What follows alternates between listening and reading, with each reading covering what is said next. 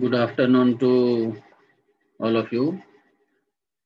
In our earlier class, we have seen some of the inequalities for Riemann integration. Now we are going to see what is refinement of partitions. First, we will see its definition. Then there are some results. See, for any partition P, the length of the largest subinterval. See here, the length of the largest subinterval means all subintervals are not of the same length. So we will select that subinterval who, which has the largest length. So the length of the largest subinterval is called the norm or mesh of the partition. Select the largest subinterval and the length of that largest subinterval will be called norm or mesh.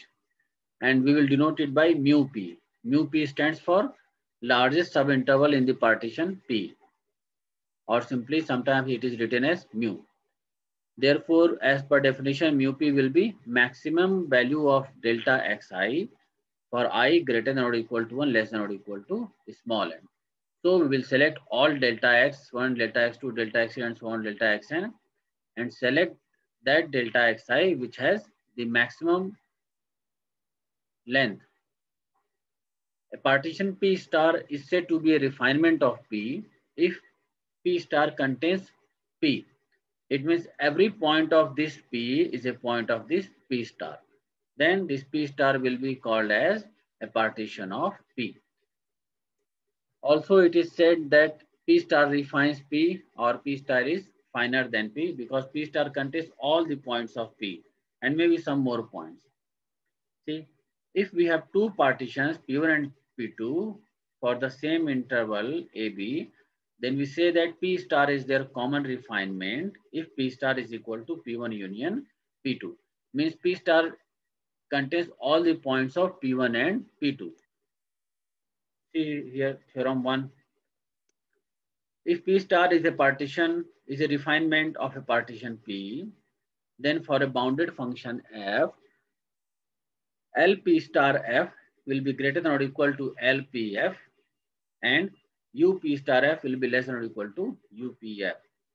So this is lower sums for P star partition P star and this is lower sum for partition P and this is upper sum for partition P star and this is upper sum for partition P. See to prove one, suppose that P star contains just one more point than P and let this extra point be denoted by this xi and suppose this xi belongs to this interval delta xi that is xi minus 1 is less than xi and less xi is less than xi. So xi is between between point xi minus 1 and xi. Now the function is bounded over the entire interval closed interval AB. Therefore, it will be bounded in every subinterval delta xi where i is varying from 1 to n. So now suppose W1, W2 and Mi, these be the minimum infimum or infimum is also called a greatest lower bound or GLB of f in the intervals xi minus 1 xi, xi xi and xi minus 1 xi. So this xi minus 1 xi is break into two parts xi minus 1 xi and xi xi. Then it is clear that mi will be less than or equal to w1 and mi will be less than or equal to w2. Why? Because this mi is infimum of in this xi minus 1 xi and this w1 is infimum in this one and w2 is infimum in this interval. Now evaluate LP star f minus LP f. So write all the uh, summations um, of LP star f. So at last you will have only W1 xi minus xi minus 1 plus W2 xi, xi minus xi and minus mi xi minus xi minus 1. All other terms will cancel each other because of this LP star f and LPF. Since xi minus 1 xi is break into these two parts. So only these two parts will remain here and this root part remain here and all other parts will be same for this LP star f and LP star LPF. So all of them will banish each other.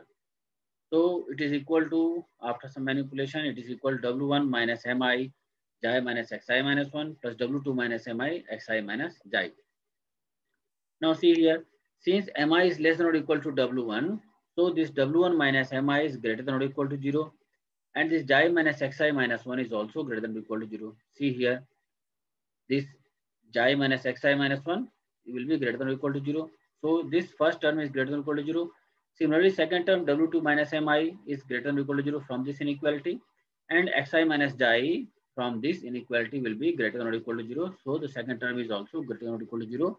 It means LP star f minus LPF is greater than or equal to 0 because each bracket is positive. So we have proved the condition 1 for when the P star contains just one point more than P. Now see, if P star contains P points more than P, means first point, second point, third point up to P points. Then we repeat the above reasoning. This reasoning will be repeated P times and we arrive at the conclusion that LP star F will be greater than or equal to LPF. So if uh, you have no difficulty to get this conclusion because the one point earlier we have taken one point, now we are taking P point. In case of one point, we have got LP star F minus LPF greater than or equal to zero. And similarly, we can get for P points LP star F minus LPF greater than equal to zero. It means LP star F minus LPF is greater, uh, LP star F is greater than equal to LPF. So similarly, we can prove that UP star F is less than equal to UPF. See the second one, this one. So from, for this one, you need to start from UPF minus UP star F. Uh, similarly, you can do this. Take again W1, W2 and uh, Xi W1, W2, it will be minimum and MI, capital MI, it will be capital MI, will be uh, maximum. W1, W2 will be maximum in these three intervals and proceed using the definition of UPF as earlier we have seen, you can get this result. See, there is a corollary for you.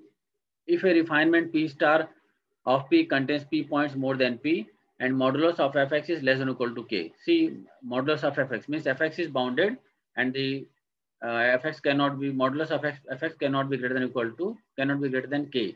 It should be less than or equal to k for all values of x in this closed interval AB. Then this LPF will be less than or equal to LP star f will be less than or equal to LPF plus 2p k mu and UPF will be greater than or equal to UP star f greater than or equal to UPF minus 2p k mu. Proceeding as above, when P star contains one point more than P, then we will have LP star f minus LPF will be W1 minus Mi into Xi minus Xi minus 1 plus W2 minus Xi Mi into Xi minus Xi. See here, earlier we have shown this result. So use this, just that result. Now modulus of fx is less than equal to k. It is given in your corollary for all x in closed interval AB. Therefore, minus k will be less than equal to Mi, which will be less than equal to W1, less than equal to small k. It implies that 0 will be less than equal to W1 minus Mi, which will be less than or equal to 2k. So we will substitute this here and then we will get the another inequality.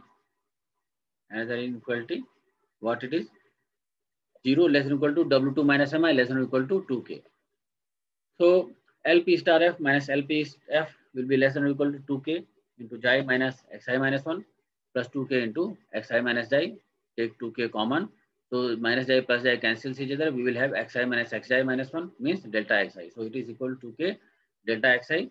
Now it will be further less than equal to 2k into mu. We are mu is what? Mu is norm of p. Mu is norm of p means the largest length of the largest subinterval for the partition p. So this will be less than equal to 2k into small mu. Now suppose that each additional point is introduced one by one by retaining the above reasoning p times we will get LP star F is less than equal to LPF plus 2P K mu. Here LPF is on the left hand side of less than equal to, so it, it was minus, but after sub, uh, transforming it, transferring it to the right hand side, we will have LP star F less than equal to LPF plus 2P K mu. Also, we have proved earlier that LPF is less than equal to LP star F. So, uh, combining both these, we get LPF less than equal to LP star F less than equal to LPF plus 2 pk mu. So this result is proved. Similarly, we can prove the result for in case of UPF means upper sum. So no difficulty. See here, there is an example for you. If P star is a refinement of P, then UP star F minus LP star F will be less than or equal to UPF minus LPF. You don't need to do much for this one. You just use the uh, earlier theorem one and use the inequalities there and you get this result. So no difficulty for this result. Say you have uh, one more theorem, theorem two. For any two partitions P1 and P2, we have LP1F is less than or equal to UP2F. It means this is this is our low upper sum and this is our lower sum. So upper sum is always greater than equal to lower sum.